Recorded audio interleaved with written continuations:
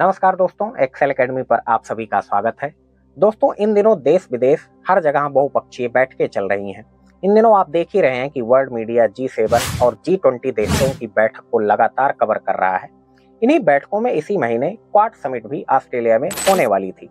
परंतु United States of America के president sleepy Joe Biden के इसमें भाग न लेने के कारण इसे रद्द कर दिया गया। कुछ विशेषज्ञ इसे चाइना की एक बड़ी जियोपॉलिटिकल विक्ट्री के तौर पर देख रहे हैं। तो कुछ लोग इसे अमेरिका की पुरानी आदत बताकर इसकी आलोचना कर रहे हैं। तो आज की इस वीडियो में हम ये जानने की कोशिश करेंगे कि आखिर किस वजह से बाइडन ने लास्ट मोमेंट पर अपने ऑस्ट्रेलियाई दौरे को रद्द कर दिया। इसकी सबसे बड़ी वजह है अमेरिका की डेट क्राइसिस जो पूरी दुनिया की अर्थव्यवस्था को डुबाने का मादा रखती है।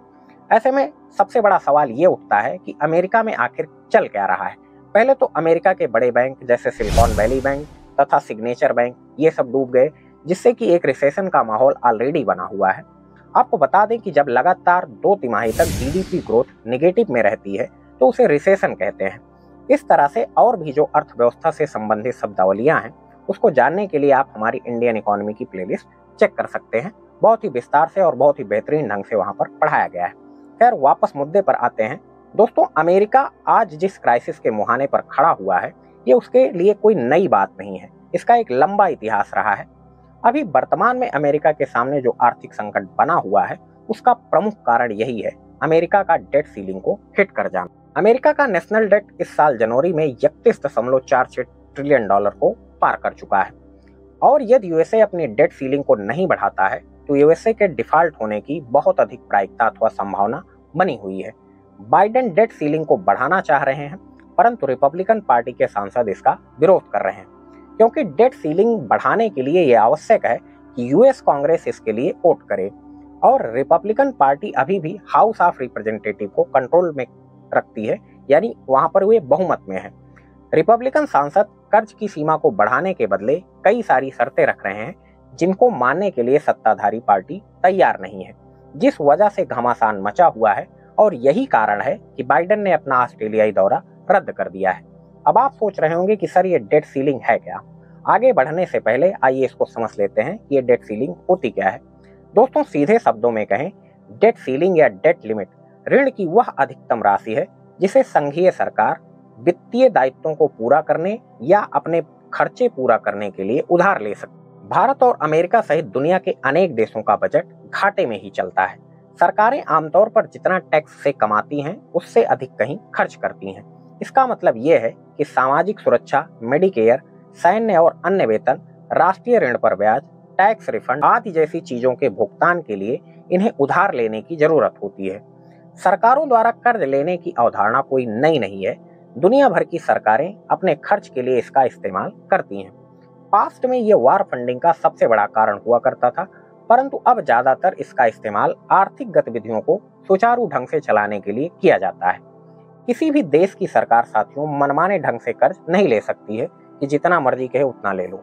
इसके लिए सभी देशों में एक नियम कानून बना होता है, जिसके तहत ही आप कर्ज ले सकते अगर अमेरिका का नेशनल डेट इस डेट सीलिंग को हिट कर जाता है तो अमेरिका और अधिक कर्ज नहीं ले सकता है।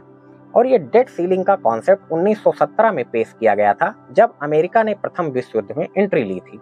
और अमेरिकी ट्रेजरी विभाग के अनुसार, कांग्रेस ने 1960 के बाद से 78 बार इस डेट सीलिंग को बढ़ाया है अथवा निलंबित किया है। ये देखा गया है साथियों कि जब भी यूएस अपनी डेट सीलिंग को हिट करने वाला होता है फेडरल रिज़र्व इसे बढ़ा देता है। क्योंकि मौजूदा राष्ट्रपति डेमोक्रेटिक पार्टी के हैं, जो कि एक लेफ़्ट या वामपंथी विचारधारा वाली पार्टी है इसलिए सोशल वेलफेयर पर अधिक खर्च करती है। इस कारण से इनको अधिक कर्ज लेना पड़ता है और इस वजह से ही इनका डेट सीलिंग से अधिक हो गया है। इस कर्ज को आने वाली सरकारों को अधिक ब्याज के साथ चुकाना पड़ता है। क्योंकि 2024 में अमेरिका में फिर से चुनाव होंगे, अगर मान लीजिए कि ट्रंप फिर से पावर में आ जाते हैं तो ये उन पर बोझ बना रहेगा। यही कारण है कि रिपब्लिकन पार्टी इसका विरोध कर रही है। साथियों, अगर राजनैतिक कारणों को हम छोड़ भी दें तो अमेरिका की डेट सीलिंग का ब्रीच हो जाना, खुदा ना खास्ता, दुनिया भर के लिए एक भयावह स्थिति पैदा कर सकता है। यदि इस बार यूएसए कांग्रेस अपनी डेट सीलिंग नहीं बढ़ाती है तो यूएस ट्रेजरी विभाग अपने बिल्स का भुगतान करने में असमर्थ रहेगा। इसका अर्थ ये होगा कि अमेरिका इतिहास में पहली बार डिफ़ॉल्ट में एंटर करेगा। ट्रेजरी सचिव एलन ने कहा है कि सरकार के दायित्वों को पूरा करने में अमेरिकी अर्थव्यवस्था सभी अमेरिकियों की आजीविका और वैश्विक वित्तीय स्थिरता को अपूर्णीय क्षति होगी। विश्लेषकों का कहना है कि एक बार डेट डिफ़ॉल्ट हो जाने के बाद डॉलर कमज़ोर होगा, शेयर मार्केट गिर जाएगा और कई हज़ारों लोगों की नौकरियाँ जा सकती हैं। एक शॉर्ट टर्म के लिए अगर मान लीजिए अमेरिका डिफ़ॉल्ट करता है तो उससे तकरीबन आधे मिलियन लोगों की जॉब और यदि लॉन्ग टर्म के लिए डिफ़ॉल्ट करता है तो तकरीबन आठ मिलियन लोगों की नौकरियाँ चली जाएँगी अमेरिकी राष्ट्रपति की आर्थिक मामलों की सलाहकार परिषद का बयान आ चुका है कि अगर कर्ज की सीमा बढ़ाने पर सहमति नहीं बन पाई और अनिश्चितता थोड़े समय के लिए भी खिंच गई तो अमेरिकी अर्थव्यवस्था 6 प्रतिशत से अधिक भी कॉन्ट्रैक्ट कर सकती है। अमेरिकी अर्थव्यवस्था में एक प्रतिशत का कॉन्ट्रैक्शन भी किसी आपदा से कम नहीं होगा, इससे करोड़ों लोगों का जीवन सीधे तौर पर प्रभावित होगा।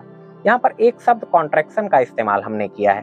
इसका मतलब ये होता है साथियों कि जब किसी वर्ष किसी तिमाही में जीडीपी की ग्रोथ रेट पहली बार नकारात्मक हो जाती है तो इसे कॉन्ट्रैक्शन कहते हैं। इसके अलावा यूएस ट्रेजरी यूएस के साथ साथ दुनिया भर के वित्तीय संस्थानों की ब्याज दरों को निर्धारित करने में एक अहम भूमिका निभाती है। ये सारी बातें हमने इकोनॉमी में पढ़ा रखी हैं कि कैसे अमेरिका के ब्याज दरों को बढ़ाने से पूरी दुनिया में हलचल मच जाती अभी आप इतना समझिए कि अगर अमेरिकी अर्थव्यवस्था में कॉन्ट्रैक्शन हुआ तो हमारा प्यारा भारत भी इससे प्रभावित होगा, क्योंकि अमेरिका में इस वजह से मांग घटेगी और मांग घटने से हमारा निर्यात भी प्रभावित होगा।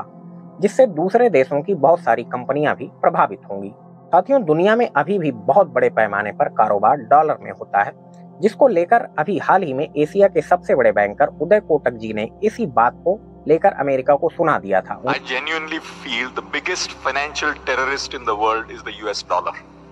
उन्होंने कह दिया कि अमेरिकी डॉलर दुनिया का सबसे बड़ा फाइनेंशियल टेररिस्ट है और ये बातें उन्होंने एकदम सटीक बोली हैं क्योंकि लगभग सभी देशों का विदेशी मुद्रा भंडार भी डॉलर में ही है।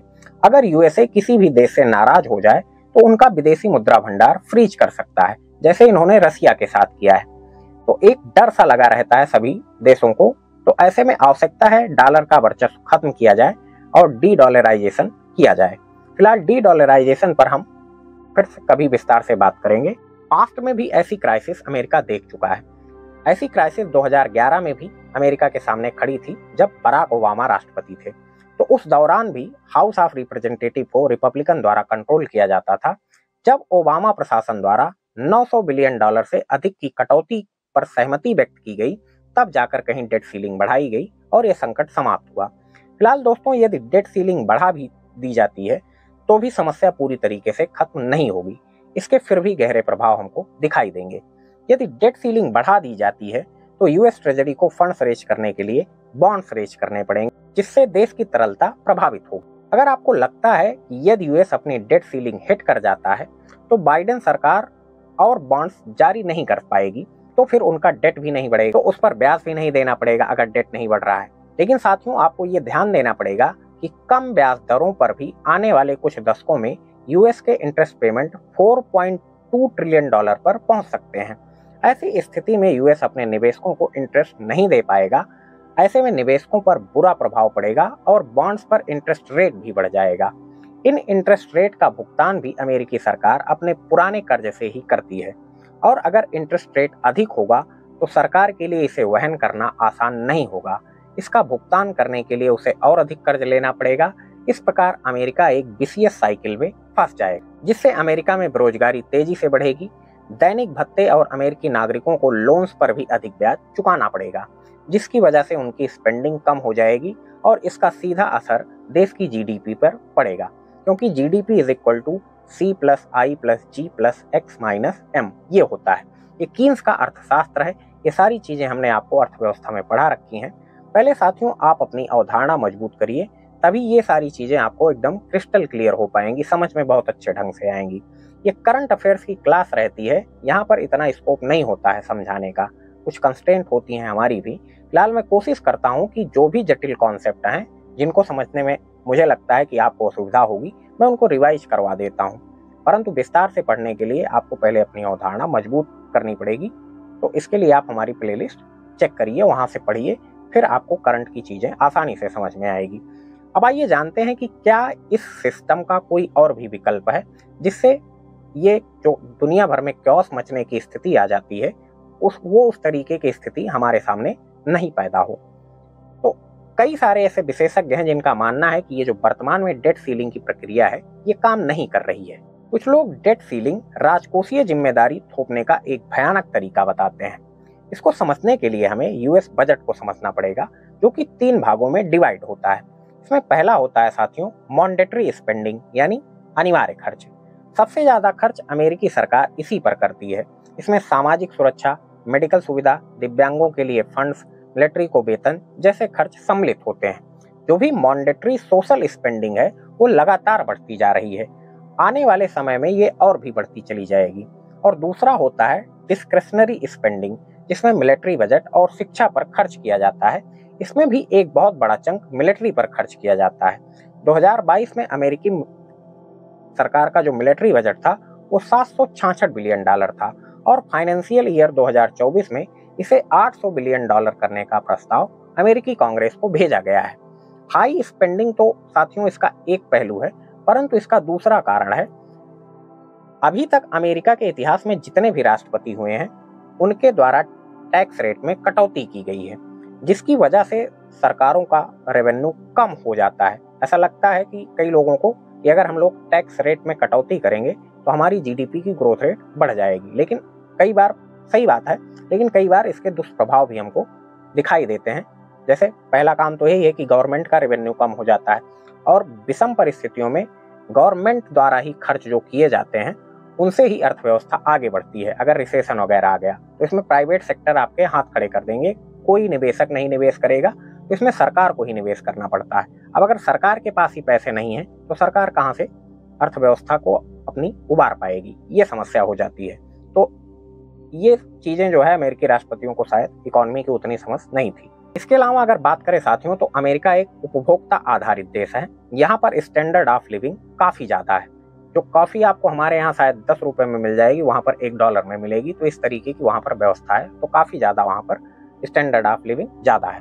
और तीसरा इसका जो डिवाइडेशन है, अभी जिसके बारे में बात कर रहा था, बजट के बारे में, वो है डेट के इंटरेस्ट की पेमेंट इन्हीं वजहों से इसे राजकोषीय ज़िम्मेदारी थोपने का एक भयावह तरीका कहा जाता है।